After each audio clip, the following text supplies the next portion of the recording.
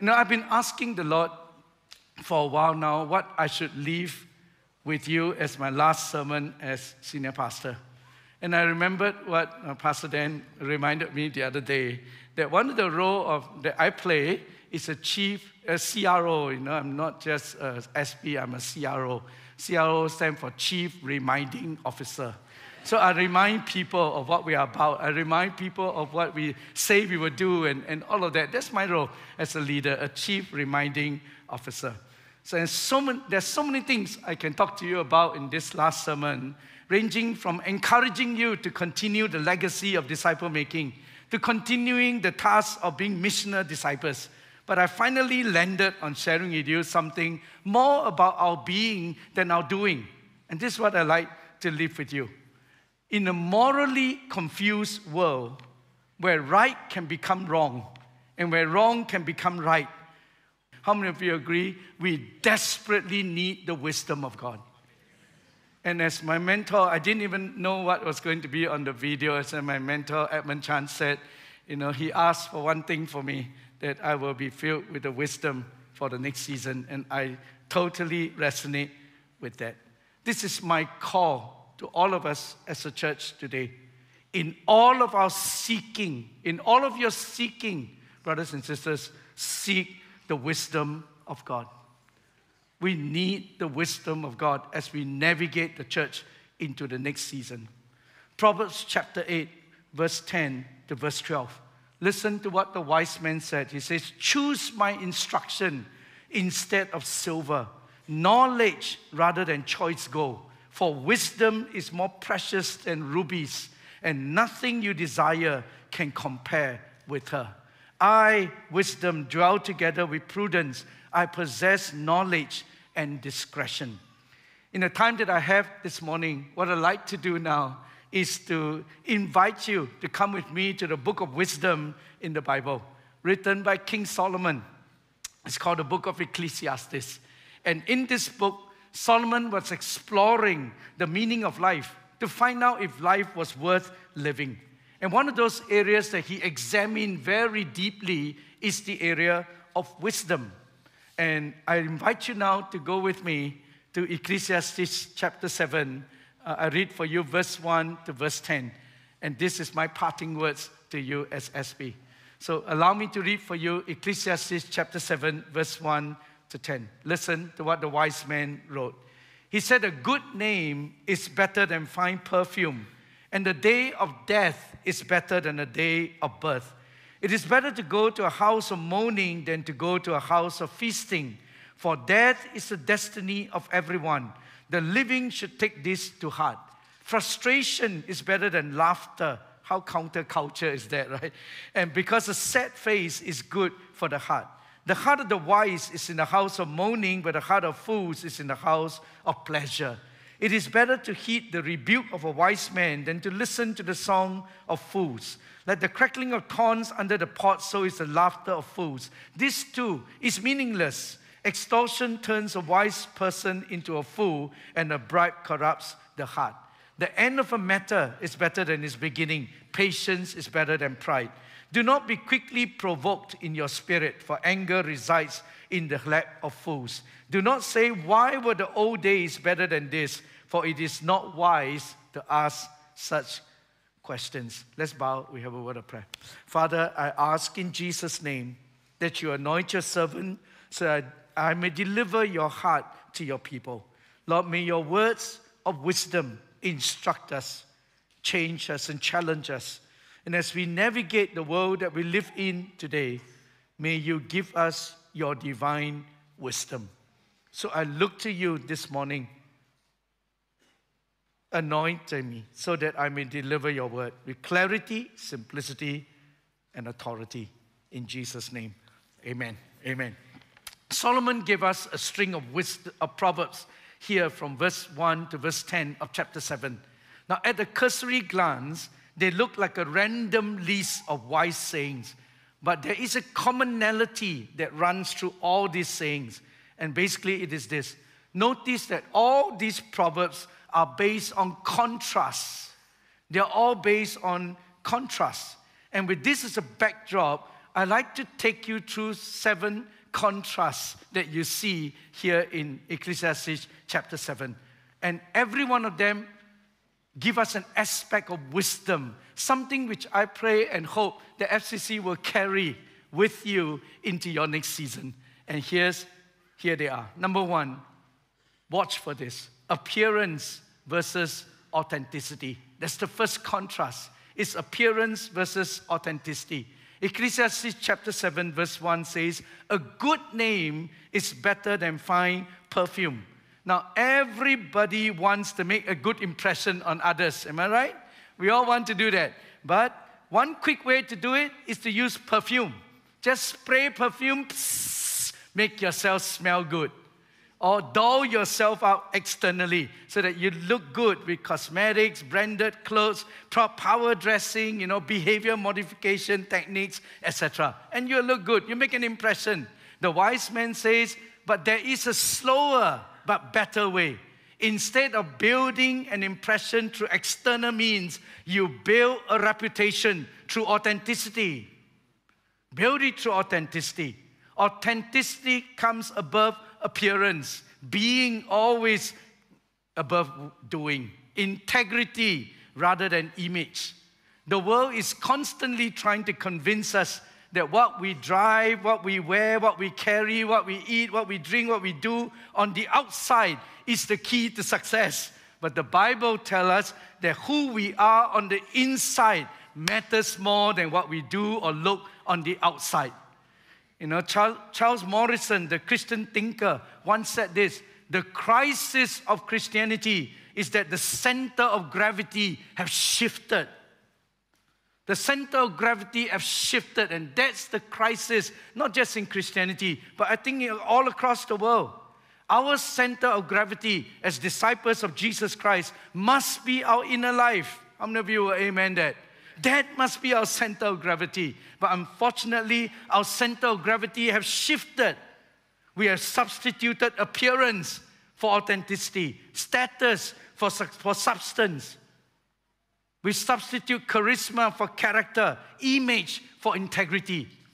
And my challenge to all of us as we move into the next season keep the center of gravity, which is Christ on the inside, our inner world, much more important than our appearance. The first contrast the wise man wants us to note is between the appearance and authenticity.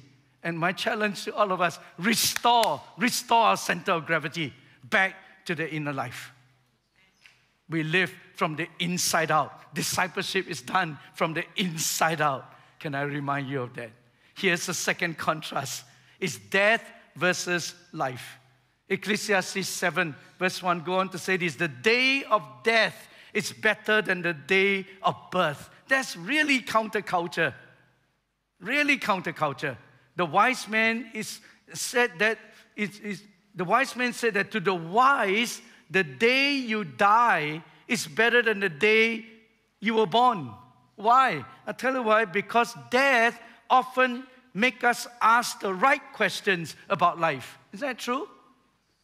The best place to reflect on life is in a funeral.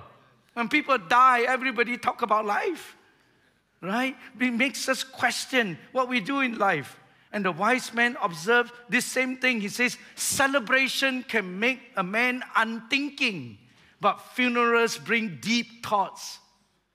You see, to a Christian, death is not when a candle is burned out or snuffed out. No, that is the day when the candle is put out intentionally. Why? Because the dawn has come.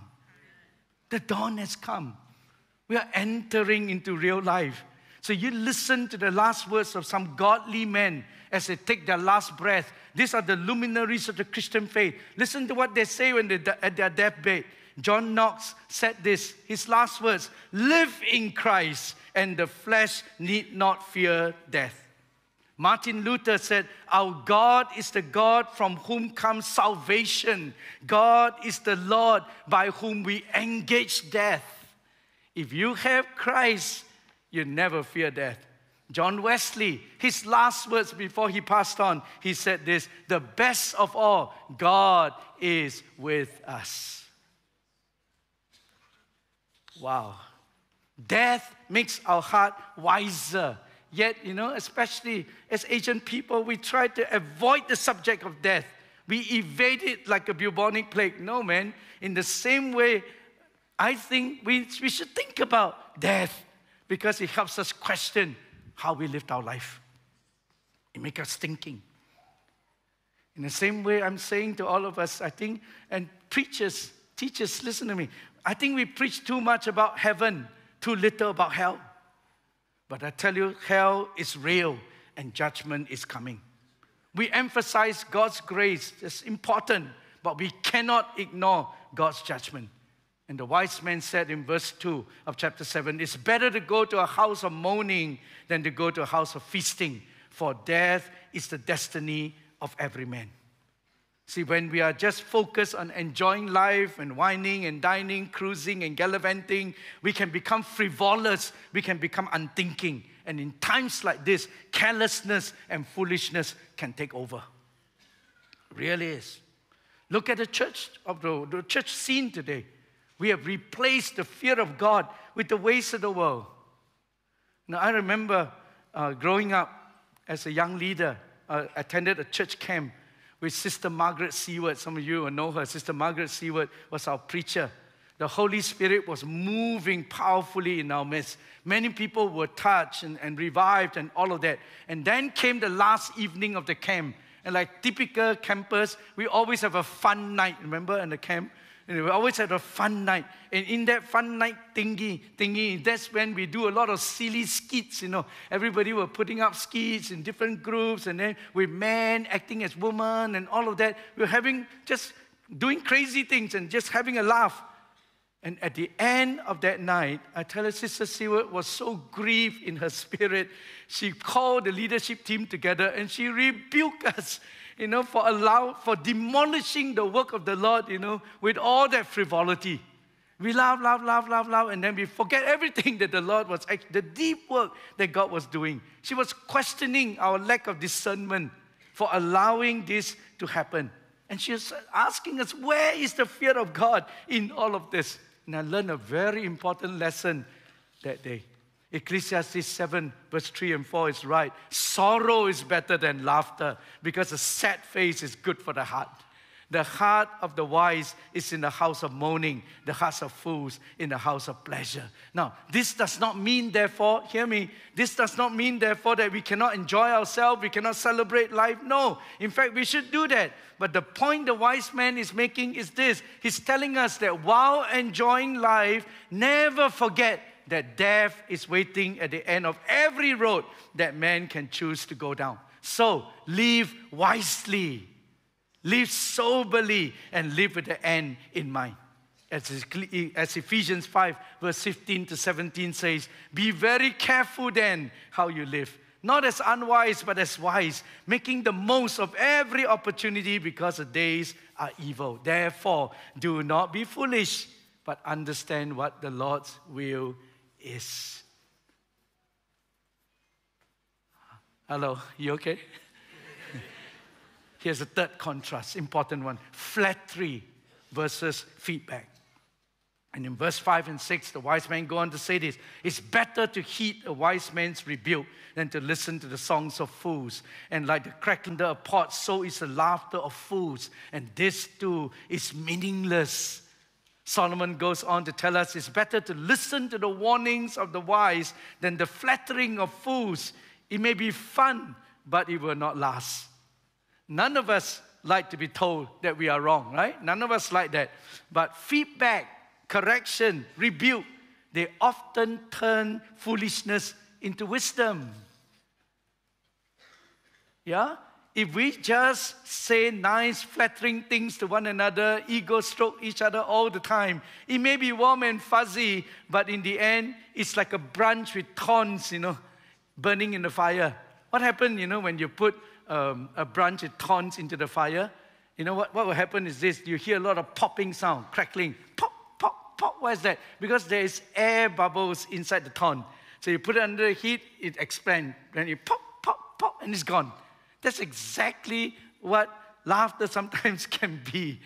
You know, you just laugh and then it's forgotten. We say frivolity, crack jokes here and there, we laugh, pop, pop, pop, pop, pop, and then that's the end. It's just like a party. Lots of noise and laughter and fun, but when it's over, then it remains empty and hollow. But wise is the man who is willing to listen to honest feedback from people who cares, and at times even from people who are critical.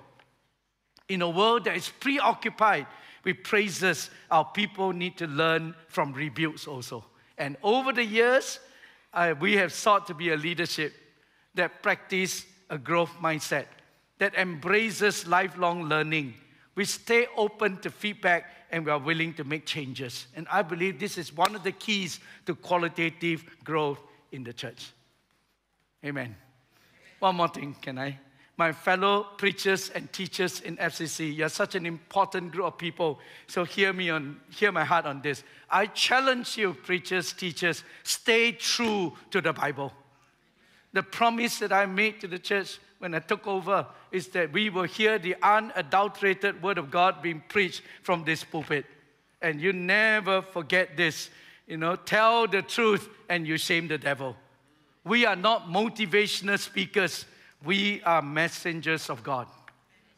See, and God did not call us to be saved, He called us to be brave. So we step into this pulpit, preachers, teachers, hear me. We step into this pulpit with fear and trembling. But it is not because we are afraid of human reaction, it's only because we fear the Lord. We stay true to this. 2 Timothy 4, verse 2 and 3. Preach the word, Paul says. Be prepared in season and out of season. You correct, you rebuke, you encourage with great patience and careful instruction. For the day will come when people will not put up with sound doctrine, but instead to suit their own desires, they gather around them great number of teachers to say what their itching ears want to hear. Through the years of preaching here in FCC, I have sought to stay true to the word. I make mistakes, but I seek to be true to the word. And my prayer is that we will continue to keep this pulpit fiercely biblical, Christ focused, and gospel centric. The contrast between flattery and feedback, such an important one. Can I give you one more? It's a contrast between cash and character. Cash and character. Verse 7 says, Extortion turns a wise man into a fool, and a bribe will corrupt the heart. The wise man is literally saying to us that character is more important than cash. See, in bribery, both the payer and the payee have compromised their integrity. But in a money crazed world that we lived in, this is so critical. The modern church is so taken up with the prosperity gospel, even pastors can bow our knees to the God of mammon. Cash has overtaken character, but wisdom tells us, and I'll say this, say this to you character is above cash. Billy Graham said it right. When wealth is lost, nothing is lost. When health is lost, something is lost. But when character is lost, all is lost. The Bible puts it this way what does it profit a man if we gain the whole world, but we lose our own soul? I'm so glad to say that now in FCC we have a staff team that serve the Lord with excellence and passion. Everyone, we, we seek to pay them fairly, but not exorbitantly. And this is because we believe that ministry is not a career, it is a calling. And I want to encourage all of our staff members stay true to your calling and serve the Lord with gladness and serve the Lord with excellence. And we will never allow money or the lack of it to become our reason for doing what we do. We work as unto the Lord. At the same time, I appeal to you as a church love our staff, love our volunteers, and seek to be generous with them and muzzle not the ox that plows the field, for a worker deserves his wages. May FCC continue to be a church that put character above cash. And we say amen to that. Stay true to that. Can I give you number five? Starting versus finishing. Starting versus finishing. The wise man said in Ecclesiastes 7, verse 8, the end of a matter is better than its beginning. Patience is better than pride. So don't be quick tempered or quickly provoked in your spirit, for anger resides in the lap of fools. Here you see a contrast between starting and finishing, starting and ending. No, it's not how you start, it's how we end that really matters. How often it is we start projects that we never end, either because we lose interest halfway or we get distracted with other stuff that we simply lack the perseverance to follow through. True success is not just in starting well, but it is in finishing well. You know, as I get nearer to the finishing line, I'm reminded of Psalms 90, verse 12. Teach us to number our days that we may gain a heart of wisdom. You know, one of the gifts of aging, I think, is wisdom. And all the old folks here say, Amen. You know, wisdom that I gained over the years of walking with God, serving His people, and living life. I hope that my next season will be a season of deeper reflection and the sharing of wisdom. And I would want to move from engaging in ministry really to empowering the next generation. So rather than continuing to lead an organization, I rather encourage 10 other leaders so that they can lead their organization even more effectively. Instead of continuing to preach and teach, I would rather raise 10 other preachers and teachers and we multiply ourselves 10 times. That's my dream. Over the last two decades, we have worked at building an intergenerational church where the young and the old can all work together. We want a community where the young are free to see visions and the old are still free to dream dreams, okay? And it's a place for everybody. We want to live out Proverbs chapter 20, verse 29 as a church. Proverbs 20, 29 says, The glory of a young man is in their strength, but gray hair is the splendor of the old. Gray hair is a symbol of wisdom. So, you older people, no need to dye your hair. This is our mark of wisdom. But I just dyed it yesterday, just to it look good. but what's my point? My point is this I think we want both the strength of the young as well as the wisdom of the old. How many of you, amen there, right? We want both the energy of the young as well as the experience of the old. We want the creativity of the young people. We also want the stability of the old people. And when you have both, I think we can then start well and we will finish well. So, FCC, can I encourage you resolutely keep this distinctive of being a happy intergenerational church where there is a place for everybody, young and old. You know, and I remind you again, pastors, that we are one team. We are not children church pastor, young adult pastor, youth pastor. No, we are all pastors of this church. We are one team, spiritually forming our people over the different stages of life. And in this house, there will always be a place for everyone, young and old.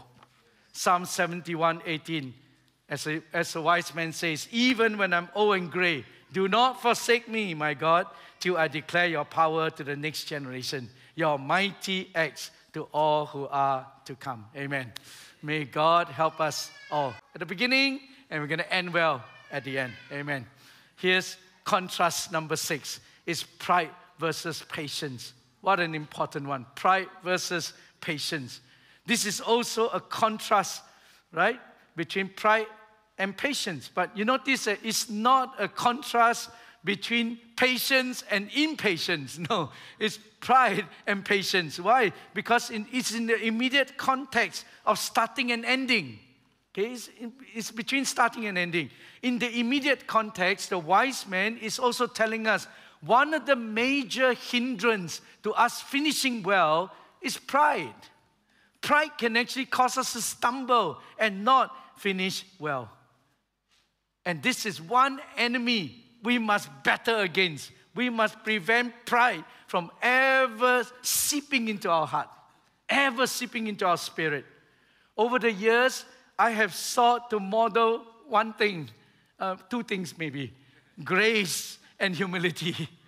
I've sought to live that out all my life grace and humility. And I believe that grace is the throne that God delights to sit on. He sits on the throne of grace, and humility attracts the favor of God. So stay humble, my people. This is part of the DNA of a church. Let's continue to cultivate a leadership posture of having nothing to prove, nothing to lose, and nothing to hide. May every one of our leaders continue to be double L plate leaders, right? I keep leaving you this metaphor that every leader in this, in fact, everyone in this house should have a double L plate. You put one L plate in front, always remind yourself the L plate, you know, the driver L plate? Yeah, put the L plate in front. That L plate in front reminds you, I'm a lifelong learner. So you're going to stay learning all your life, right? You, you can never come to a place where uh, you can say, I've been there, done that, no one can teach me anything else. No, no, no, no. We are all lifelong learners, learners for life. And because we are lifelong learners, you keep a posture of humility. Stay humble. I'm a lifelong learner. But at the same time, hang an L plate behind. That L plate behind reminds you, I'm also a leader. God has called me to lead. And therefore, I step up to the plate and I lead boldly because you cannot be reticent when it comes to leadership. So stand up to the plate and lead boldly. And then we end up with this oxymoronic posture of humble boldness, or if you like, servant leader. That's who we are. We are servant leaders who operate in a posture of humble boldness. Amen. And FCC, keep this posture of humility. Continue to walk as servant leaders who operate in humble boldness. Wisdom also demands that we be patient enough to work the ground, win the hearts before we move the hands. Only then will we start well, last the journey, and then we finish well. So the wise man is actually challenging us don't be proud about starting well, but let patience help you to finish well. We can take pride in starting well, but it is patience that will help us uh, cause us to see things through and in the final analysis to end well. I've observed all through the years that all the things that we kept working at patiently, whether it's faith community services or platform or alpha, it will ultimately only break through and gain traction if we keep at it. If we don't give up, it will get there. It's patience, not pride, that will help us to finish the race and finish it well. Can I leave you with one final contrast? And that is looking back versus looking forward. Looking back versus looking forward. The final contrast is when we see that we see is that of looking back versus looking forward. So listen carefully to me. Ecclesiastes chapter 7, verse 10 ends up by saying this Do not ask, why were the old days better than this? For it is not wise to ask such questions. In a time of transition like the one that we are in, it is critical that none of us get stuck in the rear view mirror, constantly looking back to the good old days. But we need also to look forward with new expectation. How many of you amen that? You know, it is, as Ed Silvoso once said, right? The greatest hindrance to faith it's not unbelief, it's memories. I like that. The greatest hindrance to faith is not unbelief, it is memories. Our memories sometimes can become hindrance, right, to the new things that God wants to do. Memories of our past experiences, whether positive or negative, can become limiting factors to new possibilities and opportunities. If our experience is a positive one, our tendency is we want to repeat it again and again and again, even after it becomes irrelevant and no longer meaningful. If our, if our experience is a negative one, we can always end up saying, I don't even want to try anymore. You know, and that becomes limiting factors to life. And either way, we can end up getting stuck in status quo, doing the same old, same old.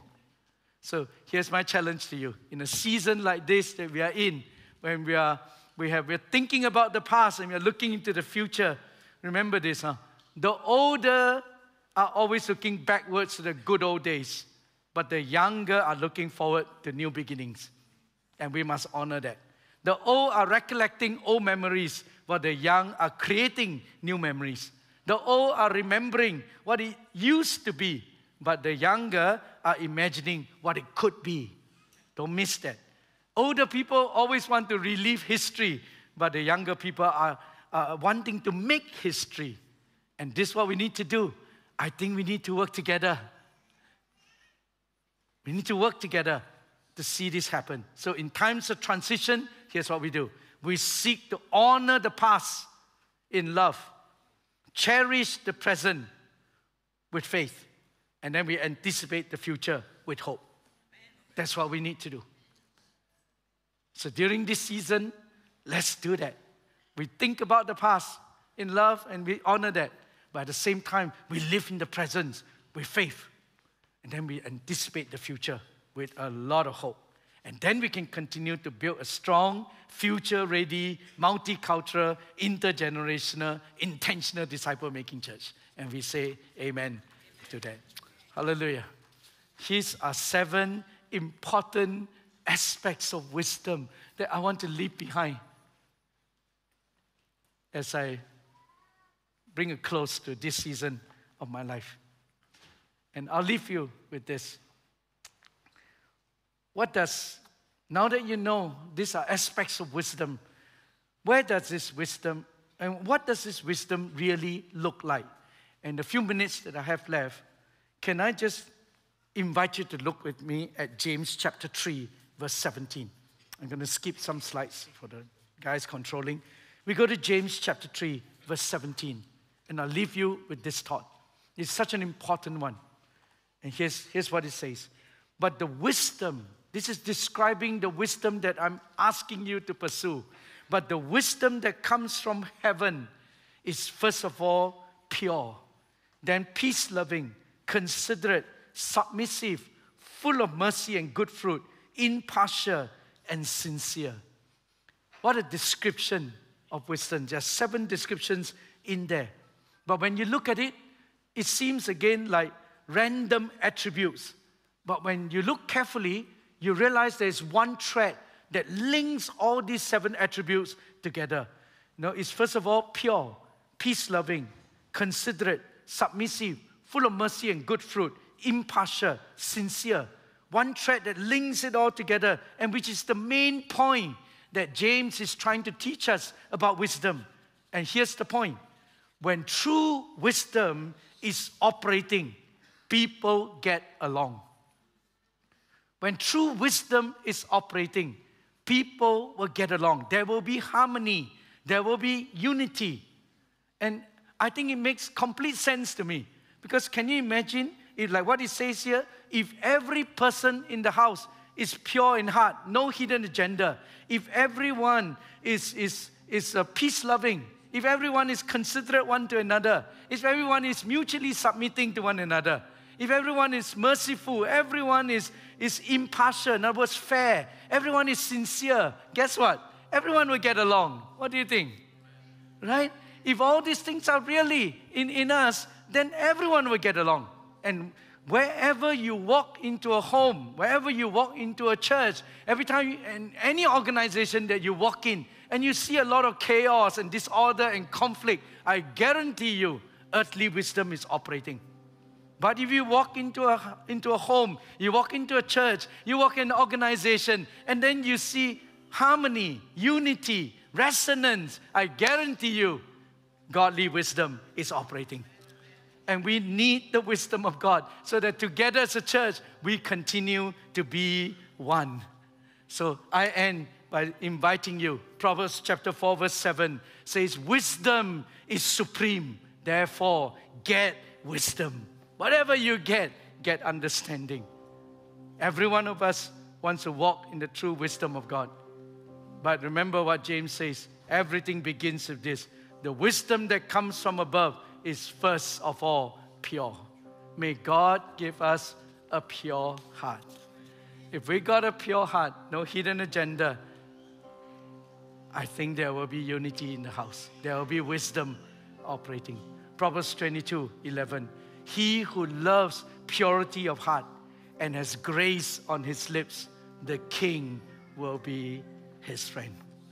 we ask God purity of heart this morning. Ask God for grace on our lips, and King Jesus will be our friend, and wisdom will flow. Take these seven contrasts, build it into your life, and ask God for wisdom this morning. How many of you believe we need the wisdom of God, yeah? Navigate the next season. And I want to pray for you this morning.